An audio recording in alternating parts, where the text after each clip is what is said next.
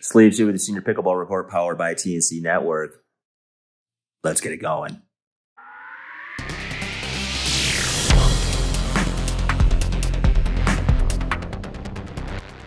Okay, today we are talking with Alex Simon, friend of the show, OKC Punishers player for NPL, third ranked DUPR male over 50 in the world, and sponsored by Thrive Pickleball. Talking to him about his Kenya trip and how to spread pickleball internationally. All right, check all the links in the description, subscribe, and hey, subscribe to that newsletter, man. Get your pickleball verse info on almost a daily basis. All right, let's get to that interview with Alex.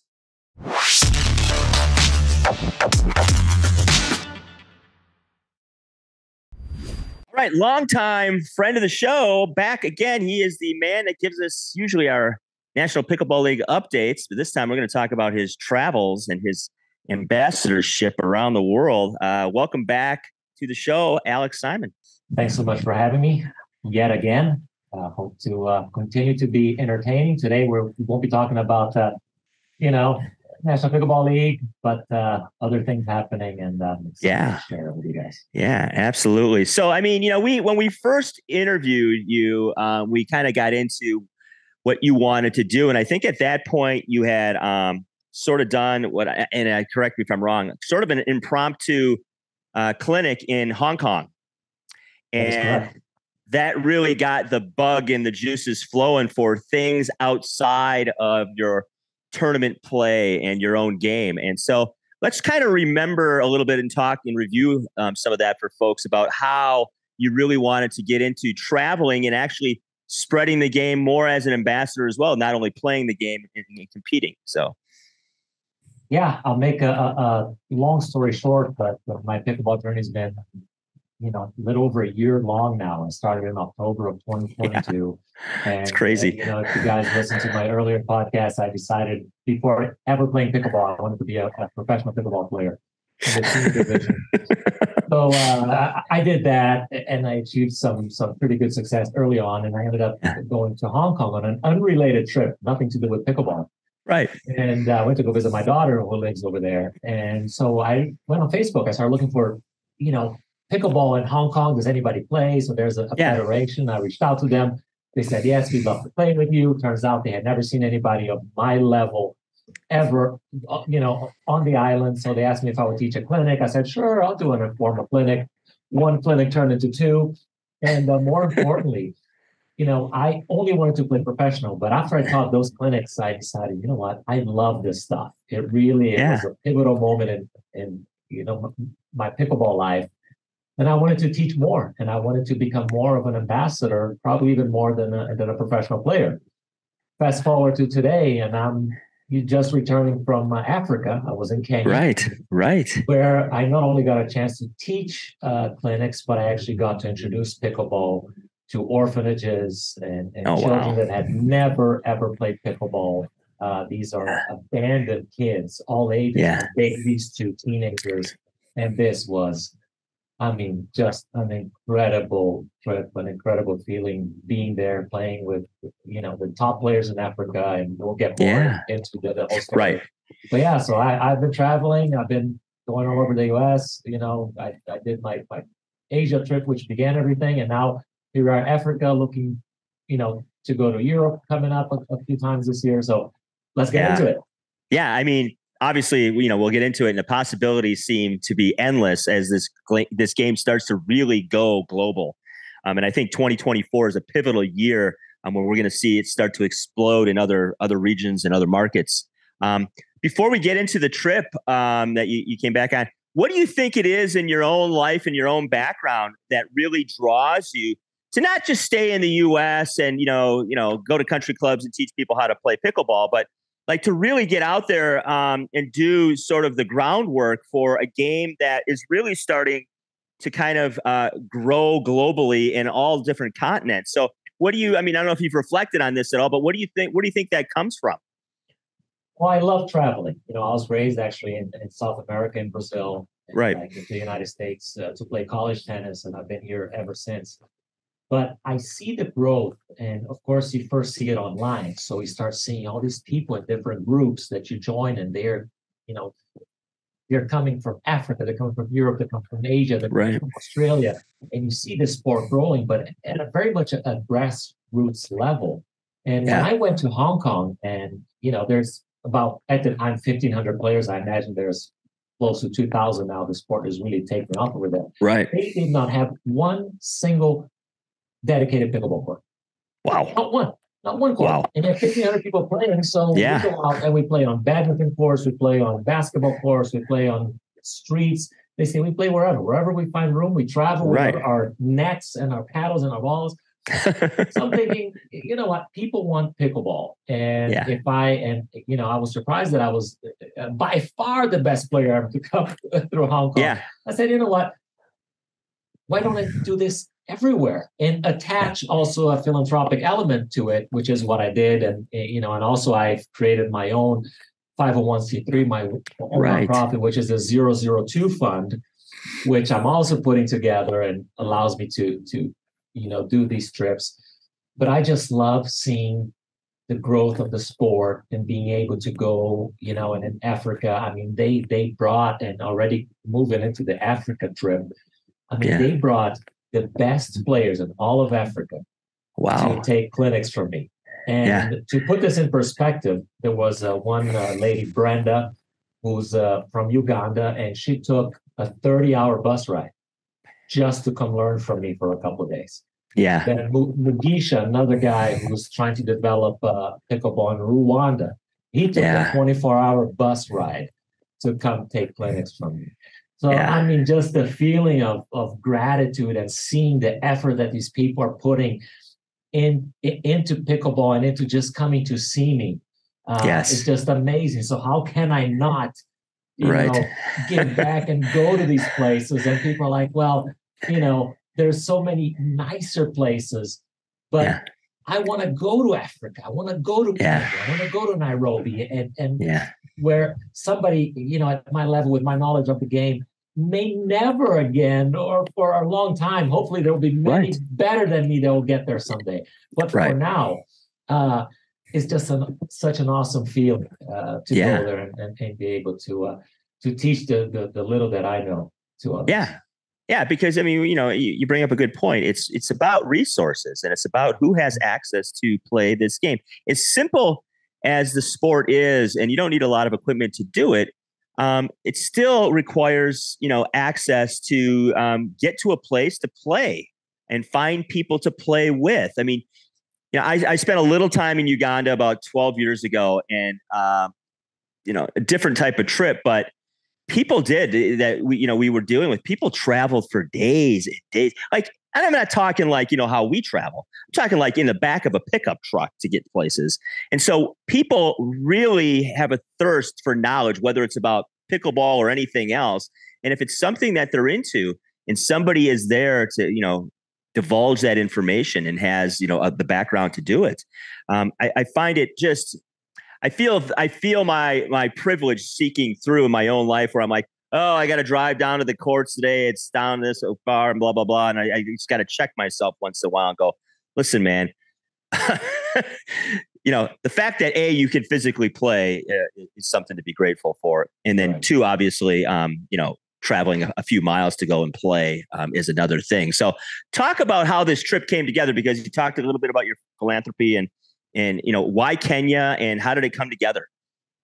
Yeah, you know, I the internet's fantastic, right? So I meet all these people, and especially Facebook and, and Instagram, and I will talk to anybody. If I see somebody in a group yeah. that's from a different country, I'm like, hey, how can we bring pickleball? How can I contribute to the growth of pickleball in your country? Right. And so the conversations go. So I talked to actually a lot of people in, in different parts of, of the world. So I, I spoke to a guy in, in uh, Cairo, Egypt last night wants me yeah. to go over there. And later wow. I'll talk about all the other countries that I, that I want yeah. to go to. Um, and then some of them work out, some of them for a variety of reasons do not. But sure. uh, I reached out to, you know, somehow got in touch with this guy, Joe, who owns a Nairobi Pickleball Club. So he built, okay. he's a, a, Swiss guy who lives in, in Nairobi, and he built this club yeah.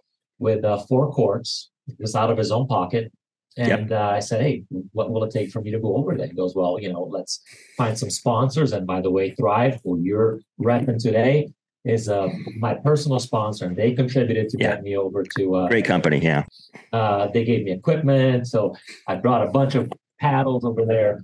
Um, so Joe said, "Okay, let, let, us bring you over." And we checked my schedule, and you know, it's it's far. I mean, sure. Oh yeah, that's no joke, I, man. I flew 11 hours to Amsterdam, got to wait there yeah. for a few hours, then take another 10 and a half hour, you know, yeah. to Nairobi. It's it's a right. you know two days. Yeah, like Amsterdam's halfway. yeah. but Amsterdam, you're going up. You know, you think you're getting yeah. closer. You, are kind of getting closer to Africa, but not really. Right. You know, you go not up really, and go no. down. Yeah. So I finally make it there. I only stay there four days. Four days, five nights. Yeah, that's a tough turnaround. Schedule doesn't doesn't allow me, you know. But I don't want a short turnaround to keep me from doing these things. So if right. I can fit in six days in my schedule, and I got a full time job, plus I, yeah. I play pickleball full time, um, right? I will make it happen. So off I go. Joe said, "Okay, you know, come here." Uh, I basically taught the clinics. It was all just, you know, pro bono. I, I didn't ask yeah. for any money. They covered my yeah. travel expenses. I stayed at Joe's house. Uh, right. No luxury. Uh, no. Not all, all the African players, you know, local players, they paid whatever they could, uh, which that got donated by Nairobi Pickleball Club and Joe to the girl from uh, Uganda. So it's wow. all like, you know, everybody yeah. pitches in, you pay what you yeah. want, then we donate right. the money. Plus, I brought bags full of equipment, clothes, balls, nets, uh, you name it. Um, right. And then I actually got to spend a whole day teaching and introducing pickleball to one of the many orphanages that they have uh, in yeah. Nairobi, which was really the, the highlight of the trip. Sleeves here with the Senior Pickleball Report powered by TNC Network talking Picklin. What's Picklin? It's a little five foot wide net that you can use when you just want to pepper around with somebody, hit it back and forth. And you don't have any space, but you just need you know a couple feet. You can put it up against the wall, legs kind of fold in. Really simple fold up design goes into a nice little carrying case. 50 bucks. Link in the description. Great practice tool because when you're playing against the wall and just having a line, you still don't have that visual like you do in a game in that peripheral, which is the net. And there's something different about practicing against the wall with a net. Trust me, I just started doing it and I did it with Picklin. Link in the description. See you next time. And hey, let's pickle. And see what I did there. Are you looking to stay up to date on the latest pickleball news and tips? Look no further than the Sleeves Senior Pickleball Report newsletter. Get the scoop on the sport, learn how to stay healthy while playing, and find out about upcoming tournaments. Subscribe now to get all the pickleball info you need. I mean, it's yeah. just incredible. These kids had never seen pickleball, uh, yeah. never played it, and now they you know, we, we leave everything there. So we come, we right. teach them, we show them how to play, we keep it simple. We don't get into doubles no. rules or counting. Stacking. Want, yeah, stacking. That's the, the, the, third trip. We'll get into Yeah, getting to stacking. But, you know, but what's most important is I go there, you know, and, and I go with Joe's group and he has people that help him at the club. We all go to the orphanage. We, we introduce pickleball, but I made sure and I told Joe, listen, after I leave, because I can't be coming back to, to Kenya, you know, every month, uh, right. promise me that you will go back there. You know, it's not just yeah. leaving stuff here. You guys are on your own. Right. See how they're doing. You got to do follow up. Got to follow up. So he's actually doing that. He's actually now, you know, I've come back for a couple weeks. He already had some of the better players, the kids that are most interested in the game, brought them to his club and taught them how to keep score. And so now they can go back to the orphanage and right. teach other kids. So it doesn't just depend on guys like me or or Joe and his staff at right. Uh, now it, grows, and now they can go to another orphanage, which they already started, and that's how you keep you right. know, spreading the game and, and doing good. Yeah. So that's how it, it came about, and yeah, and uh, everything I, I thought it would be. Oh yeah, I mean that's an amazing story. Um, so, I mean, where do you see this going? I mean, obviously, you you know, you've just gotten started. You humble beginnings in Hong Kong, and you know, pretty humble beginnings, obviously, in Kenya. And um, do you see this where you're building a team eventually um, and, and having people go out? I mean, does it, you have goals with this? Um, kind of what do you see yeah. happening? You know, everything is uh, is happening so fast. I mean, uh, a little over a year ago, I wasn't even playing pickleball. Right. Even, I, I, pickleball wasn't even on my radar. No. So in one year, all this happened. I'm playing, you know, I'm, I'm ranked number three in the world in singles. So then I got to figure out what's happening, you know, wh- where do I want to go with my professional pickleball? I just played Open Pro at the PPA Las Vegas. Right. Played in a new league. Guys. I mean, you did a lot in one year. Yeah. so I played league. Now I'm playing Open Pro singles with the young guys.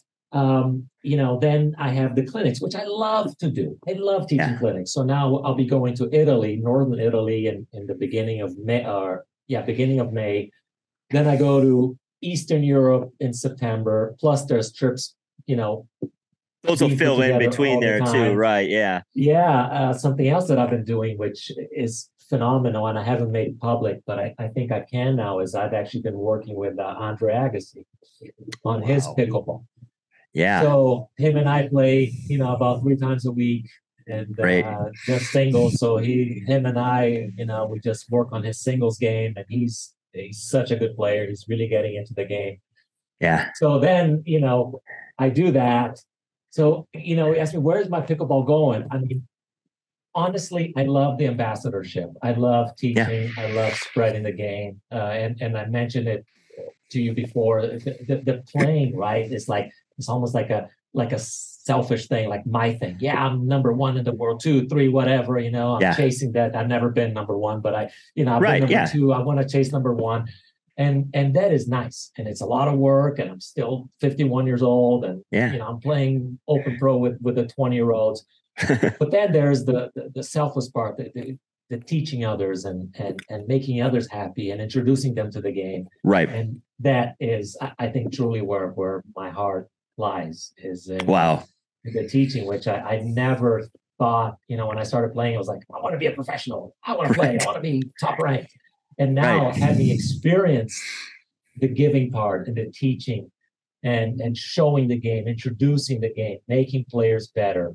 Yeah, um, I love it. So uh, to answer your question, you know, in short, is I see myself pursuing that probably more so than playing.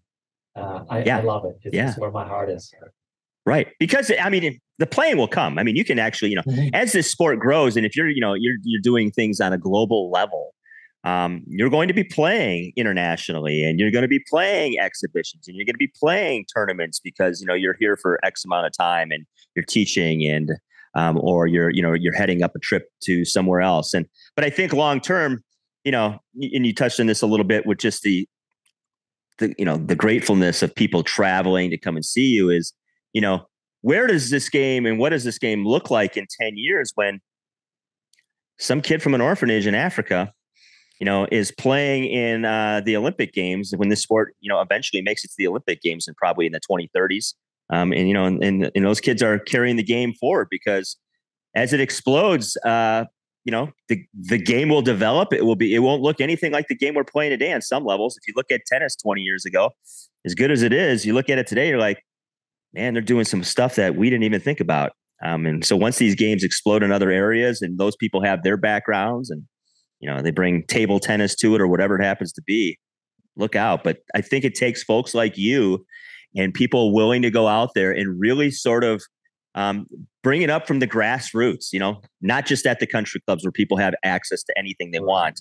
I mean, that's not knocking country club life. It's just, it's just the facts that not everybody has access to these games. And this is a game where you don't need a lot of equipment and um, it's it's pretty simple to teach. That's absolutely a, a great point you make. You know, it's not an expensive game.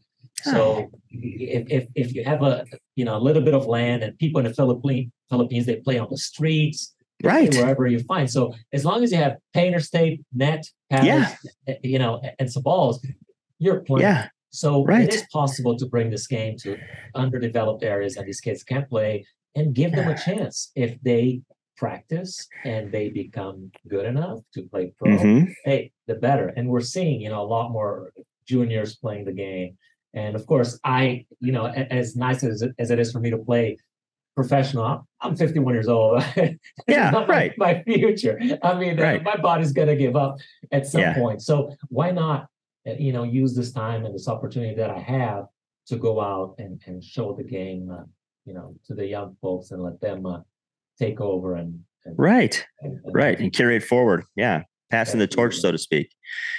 Well, I mean, sounds like an amazing trip, and obviously we'll touch base with you as the year goes on. 2024, I think, is going to be an explosive year in pickleball, and um, clearly an explosive year in your pickleball life as well. Because I mean, what you did year one, uh, you're just winding up. It sounds like to me. So let's talk about you personally in 2024. Um, what are you looking to do? I know you work your ass off. Um, mm-hmm. You know, you, are hitting balls all the time. You got practice partners. You're running Andre Agassi around. What do you, what do you kind of want to accomplish as a player in 2024? I think it'll be a combination of uh, playing and traveling. Mm-hmm. Uh, I think I need to be, uh, you know, honest with myself with the goals that I set. Yeah. Uh, you know, to to become number one, and and I'm close, but the guys ahead of me are just the, they're world class, and I know I'm, I'm not there yet. Yeah. It would take a lot of practicing. So mm-hmm. I, I, am not that concerned with with being number one. I just want to go out, have fun. And, yeah. Uh, if it needs to take a, a back seat to uh, promoting the game and being an ambassador of the game and, and do clinics elsewhere and, and, bring my knowledge to other people, so be it. Right. that's more important. So to yeah, it's going to be a combination of playing some. Not sure what I'll be playing. Of course, singles. You know, sure my cup of tea, and that's where, where I excel. But my doubles has been coming along nicely, especially with NPL, where I got to play a lot of doubles and a lot of doubles with tremendous players that you know the best seniors right. in the world were, were playing. So right. I'm not sure where that's going to go, but uh, yeah, combination of traveling clinics, hopefully doing some good, introducing pickleball, not, not just abroad, because I want to bring it to inner city kids in the United States. So right. if anybody's watching this and has any ideas, hit me up. Mean, uh, right. I'll be happy to come to your city and introduce it to to anyone that wants to play, and I'll get sponsors on board. Yeah, That's and it's a great. I mean, I, I I think it's a great. You know, I think of you know, I think of the 1950s and kids playing stickball in the streets. Of, you know, and, and Willie Mays playing uh, as a kid playing baseball in the streets with a stick and a ball, and I think of kids playing you know basketball in these playgrounds and this game can do all of those things. You could set it up in a driveway. You could set it up on playgrounds. I mean, parks, you name it, the space. And I think as it explodes and as people like you go out and, and give access to these areas, you're going to see some amazing people come out of these areas. Not only uh, players, but people that you know have the gift of of teaching. You know, you don't even have to be a great player to be able to teach. Mm-hmm. Um, if, if you can understand the game, and I think those are the areas too that we we sort of miss out on. We want to get everybody playing, but we also need people who can who can teach the game, who know how to set up uh, foundations. You know, it's all encompassing, and we're just kind of getting rolling on this. And so, I think for all of us that are involved, you know, sort of um, at the what I would call the, the beginning of the gold rush, um, it's pretty mm-hmm. exciting because the the possibilities just seem endless. So, yeah, it's kind of it, the sport, and believe me, I'm I'm in the trenches out there in, in yeah. different countries, and I can see it. People want pickleball. People that are introduced to pickleball love pickleball. It's just going to be a yeah, man. You know, such tremendous growth, and I'm I'm just happy that we're able to be a, a part of it and, and, participate and look back maybe in ten years and say, hey. Sleeves, you and I were there when this first no. started. Remember? yeah, I, and I got a feeling we will be. I mean, yeah, it'll yeah, be pretty sure. cool. So, Absolutely. Well, hey, thanks again. Alex Simon uh, out of Las Vegas, played for the OKC Punishers, ranked third currently DUPR in the world, 50 plus men, singles, and sponsored by one of the coolest paddle companies you'll ever deal with, Thrive. And uh, doing everything he can, spreading the word, and look for him out there. Um, you want to travel with him and do some work with him. Uh, we'll have links in the description for his upcoming events. Thanks again, Alex. Thanks so much for having me. I appreciate the platform to uh, spread my message and uh, and talk about pickleball. Always a pleasure being yeah. here. Yeah, you're always welcome, brother. All right, man. Hope you enjoyed our interview with Alex Simon and check out the links if you want to follow what he is doing and go on a trip with Alex. I highly recommend it. The guy is one heck of a player, teacher, and human being. All right, folks. Hey, at the end of the day, let's pickle.